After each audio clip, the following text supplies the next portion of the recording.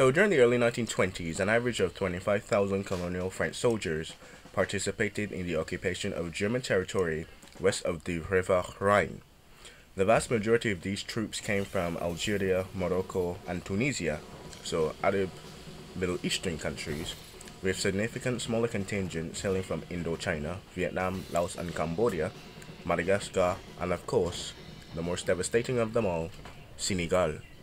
The stationing of colonial troops in the Rhineland enabled for French authorities to demobilize European French soldiers more quickly to aid in the reconstruction home effort at home.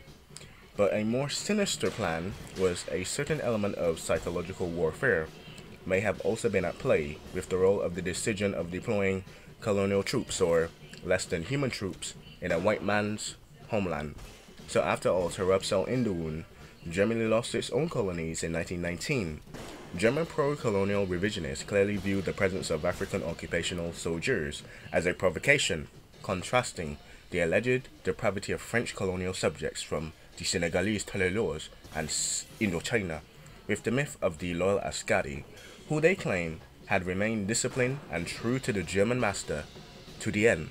So the movement against the African French colonial soldiers knows their racist impotence, or what we would call in popular culture, the Schwarzes Schmach am Rhein, or the Black Horror on the Rhine.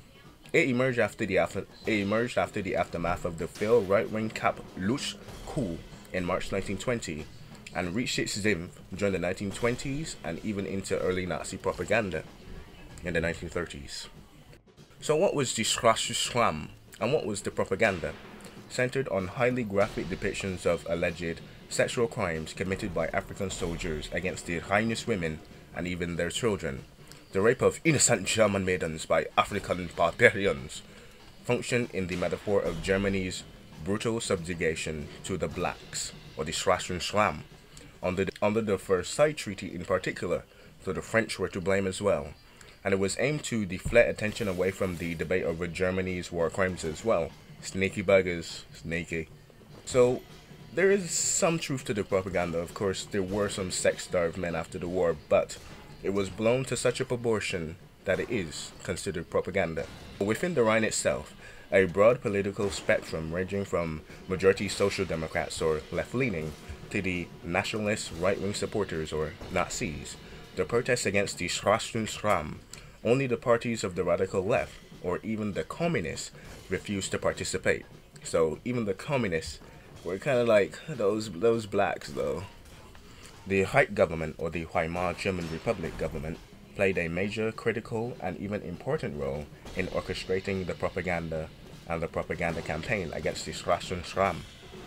At national and even at regional levels, officials collaborated closely with the municipality of the private individuals and associations. Thus, for instance, the semi-official but still recognized Reichlich Women's League or the Frauenliga or the RFL coordinated with the Schwarzes and the protests of a broad range of women's organizations and often relied on feminist and international networks to distribute their propaganda abroad. Internationally, the Black Horror or the Schwarzes propaganda initially enjoyed significant popular appeal, especially within America and other white European descendant nations, especially in Austria, England, Sweden, and of course, our boy, the United States of America. The British Labour politician Edmund Devon Morel became a vocal supporter for the Schwarzes campaign. At the turn of the 20th century, Morel had been a leader of the movement against Leopold II, King of the Belgians, and the brutal regime of the Congo Free State, which claimed the lives of millions of Africans and even decapitated most of them, starving them to death with no hands. If you get what I'm saying. Morel attacked the French government for tearing African soldiers from their families, their homelands, and for using them as cannon fodder in this imperialist war. So the Africans' men primitive sex drive, he argued, though necessary to guarantee species survival in the harsh African environment, inevitably resulted in the mass rapes of white women once these troops were thus upon the Rhineland. Morel's disturbing contribution of humanitarian concerns and racist stereotypes, as well as his close collaboration with the German government and German nationalist leagues in its production of the Black Horror propaganda. So, On one hand, in the early 1920s, Allied critics of imperialism often sided with their German opponents of France's ability and willingness to send African troops, even though the latter included many German pro-colonialist revisionists. Pro-colonialists on the Entente countryside, on the other hand, frequently found themselves confronted by the task of defending African soldiers against accusations of rape and barbarism that had long been staples of racist justifications of the white man's burden to cleanse Africa of such rape and barbarism and even slavery. They did slavery, so yeah, they, they got rid of slavery. Give them that. One tick. The perplexing political realignment evidence over the course of the Black Horror or the Swashley Swam campaign underlined the war's unsettling implications of the stability of the inherited colonial hierarchies and the moods of the racialist discourse within Europe itself. Black or not to be black. Middle East or not to carve up the Middle East and make a conflict spanning today. Asia, communist? That is the question. We're going to start with tensions and then we're going to decline, and of course 1933 with the Rhineland Bastards. At least as striking as the Black Horror or Schmach campaign initially succeeded, it had a rather swift demise after 1921. Increasingly, Schmach propaganda evoked domestic and international criticism of both the right and the left. This promoted German officials to intervene against some of the more radical racist strands within the movement, but the cat was out of the bag, and ultimately to scale down government involvement in the campaign they pretty much ended it altogether in 1921-22. So, for instance, Bavarian and Reich officials were instrumental in forcing the right-wing extremist president of the Munich-based German Emergency League against the Black Horror, or the Deutsche Notbund gegen die Schwarzen Schmach, or the DNB, Erich Distler, to step down and terminate his membership of the Bavarian DNB.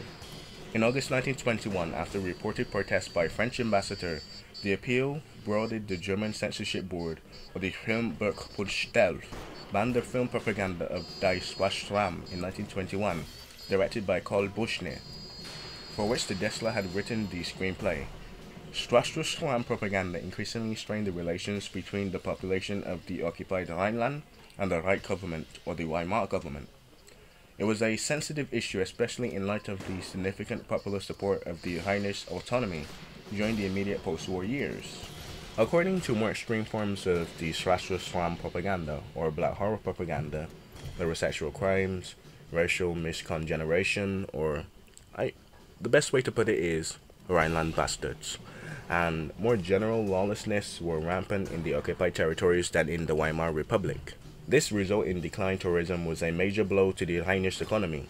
The, the apocalyptic scenario of the alleged imminent complete Malatatization or the Malatschachron of the Rhineland cherished by the DNB propagandists formed part of a formed part of a formed part of a broader right-wing misogynist disclosure about wipe shame or white shame, which accused especially working-class Rhinish women of sleeping with national and racial enemies.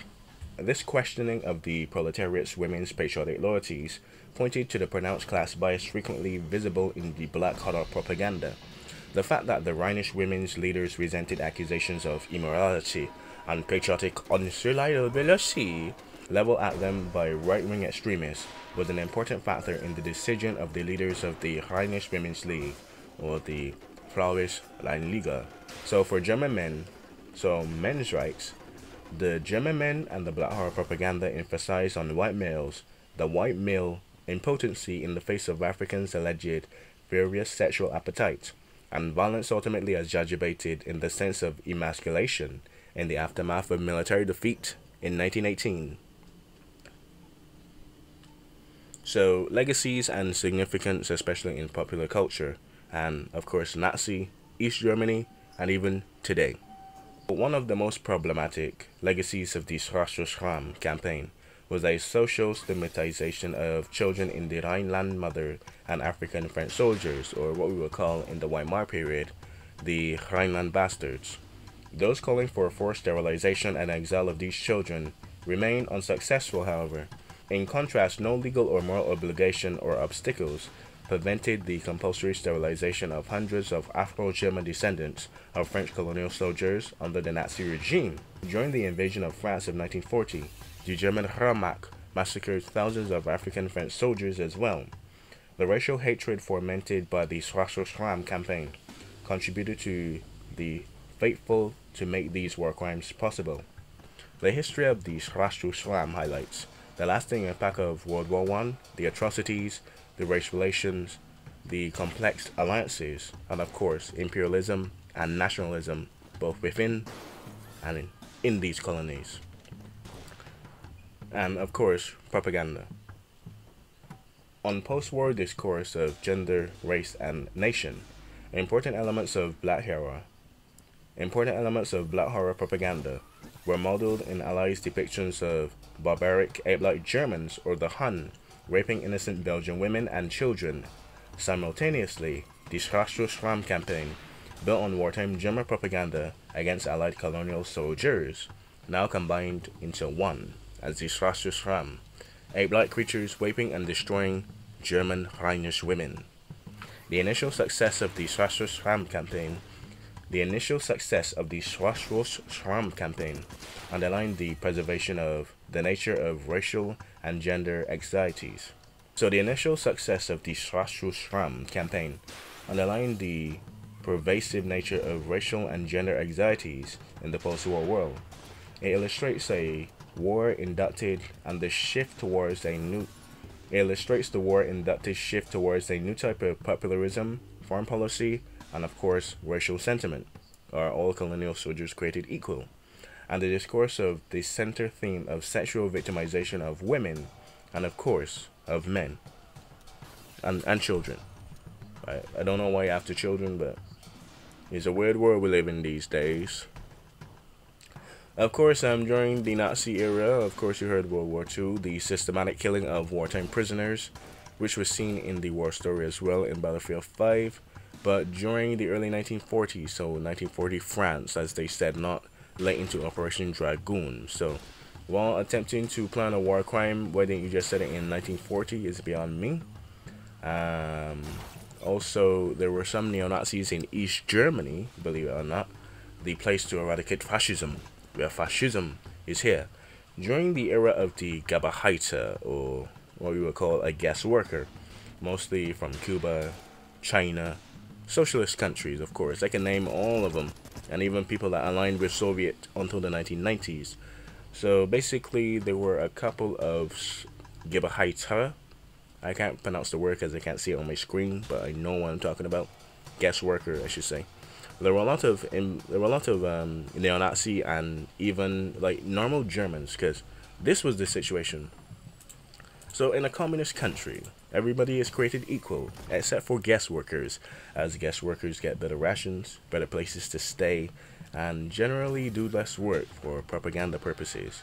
So, in the height of that, sure there are some right-wing neo-Nazis, but if I'm in a state that says that all of us are created equal, we get the same pay, we get the same car, we get the same apartment, we get the same house, we get the same land, we get the same whatever, um, shouldn't it be obvious that people coming from outside, especially Mozambique, poor African countries, should pretty much get the same thing because that would be paradise to them? So basically, um, there was this documentary. I will link it. I promise. It's just a lot of footage, guys. 1989 is a lot of footage. Also, update about 1989 because I don't know which to go first, first or forced. I don't know what to go first. I want some water. Uh, seriously, uh, I don't know what to go first, but um, uh, we got hit by another block country international. So what I'm gonna do this time is just put some 1980s synth wave over it. I'm gonna try two versions. Um, if the other one stays up, well, good on that. If the other one doesn't, well, you have the synth wave version. I'm sorry, is what I could have done, but um, if you want to save it and just watch it offline, uh, you can with the original audio, or I can send it to you if you want. But yeah, the final thematic version is going up in synthwave. Um, sorry about that. Also, I think that's about it. Um, pretty damn good. Uh, a bit la a bit a bit rough on time, 40 minutes, but I, I, I really breezed through this one. Not bad at all. Not bad at all. 40 minutes for 10 minutes. I'll take it. Uh, I might re-record the first part, but I, I honestly think after I, I did it pretty good. So I'm not even gonna vex about it. Um, lose my my um normal voice, so that's pretty cool. Um, I've run out of things to say. I'm also in Facebook jail. Um, I'm in WhatsApp jail as well. Gonna get my new phone next week, hopefully. So amen to that. And of course, um, remember Wuhan Shiloh. Wash your hands, desanitize areas, and of course, remember stay healthy, wear masks. And if you know anyone recently coming from China, mainland China, or Wuhan in particular, please do not be xenophobic, but please keep your distance from the affected person they may or may not be carrying the disease. But um, I also read as well that the Asians have a particular lung type and blood type, which makes them more susceptible to um, respiratory diseases. But still, you know, you could got some of that passed down. So you don't want to be too sure about that. And even if you got it, stay away from your Asian friends so they might not contract it. Um, also, Wuhan and Jiaxing and Hubei is in what you will call the Rust Belt of China. So, of course, um, there's a lot of fog, coal, bur coal burning, and other respiratory things that could affect your lungs as well. A lot of people have asthma as well. And, um, yeah, that's it. Wash hands, Wuhan Jiailao, we're in this together, but five feet apart. That's the new slogan. We're in this together, boys, but stay five feet apart. And, uh,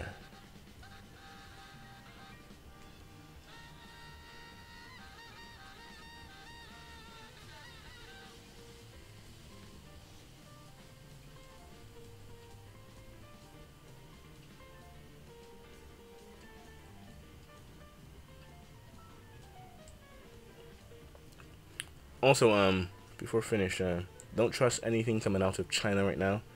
It is a communist paradise. I know. I, I've probably been banned in China like four times already, so I'm not even worried at this point. But um, just be very cautious. They're not liars, but um, those numbers aren't adding up.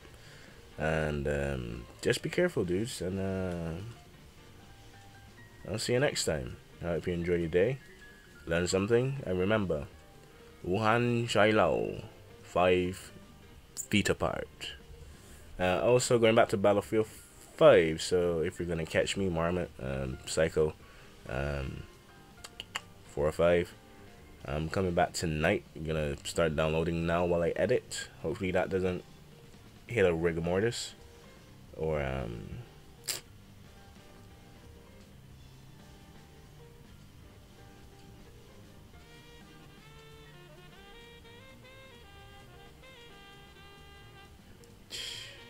15 million dollars worth of cocaine. Cocaine beer dude. That's my next video dude. World war one is done. All right i'm just kidding but getting back into the swing. We're back at world war one but also this is a black history month video. So um killing two birds with one stone. And um, a third bird for wuhan china. Anyway keep safe. This is already enough to edit and i'm already dreading going through all this footage but um it could get released tomorrow as well. I don't mind that either. Could do like two day edits, like edit 20 minutes tonight, edit 20 minutes tomorrow, and uh, finish up. Um, this also is going back to gameplay, so if you like that, um, if you like that, um, I should say uh, real life, real life um, footage, um, you're not gonna find that here. I will. First segment, I will put it a little bit more and actually show you propaganda. But besides that, I'll try and mix both worlds together, okay? But mostly gameplay, which takes a long time to edit. Trust me, I go MLG hard, but one kill, one kill, five kills, one kill, one kill that counts as an assist. That shit is hard to edit. And uh, I do find just putting like black colonial soldiers, bloop, the end. So I do like the challenging editing gameplay, so there is that. Yeah, I, I do find things that are challenging very, you know, like over the edge, you know, like giving me like, you know, that kind of feeling like yeah, I could take the easy way out, but I'm gonna do it like this. So there's that. But I will concede. I will concede to those who want um to those who actually want footage. Um anyway, so what we learned today, Swash Slam. It is basis in myths, but is semi-through, but mostly in myths and exaggerated. Sure, there were rapes by Maoris and, um, of course, Senegalese terrors. The Indians conducted themselves very well, I should say. And, of course, the um, Indo-Chinese are pretty good. Uh, can't penetrate anything that bad. Um, I'm just playing, guys. I'm just playing. But seriously, um, I guess that's about it. The Hainan bastards, the neo-Nazis of 1954 to 1998 and of course there is um, World War II and the systematic execution of the Senegalese Tirailleurs in northern France in 1940. But there's an interesting thing about this as well. The Germans actually did not kill all of them, but actually send them back to camps and then reassign them to units. Because um, there were a lot of people fighting for freedom and saw Germany as the way out so it was very interesting to see the Wehrmacht was not all blonde hair and blue eyes. Literally, literally. The only blonde hair, blue eyes regiment is actually the Norwegians, which the Germans consider like the fullest, the fullest of, I think the fullest of Aryans, like, like they're second class Aryan citizens, but are pretty like next to Germans at that point, which is weird. Gotta read up on that. Sweden, Norway, but um, anyway, uh, I have rambled on for far too long. I know it's like three, four minutes, but uh, thanks again for watching. This voice is pretty cool. And uh, 1989 lives on, boys. Um, learn something. And um, remember, propaganda is what you make of it. And propaganda is obviously water with a little bit of dirt.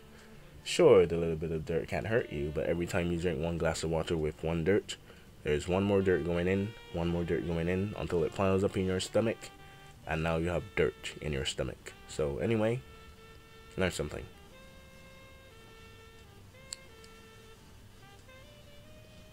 What I mean by that is like a quote, like the propaganda has an error to truth. Like for every one lie told, there's like half the truth in it. So and for half the lie, there is every truth.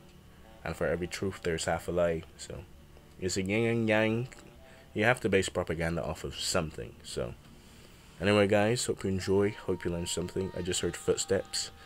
So, um, yeah, I'm ready to karate chop somebody. If it's not the kids, I'll probably karate chop the kids too. Anyway, Wuhan Chai Lao, learn something. Slash the Slam is not cool. My nigga.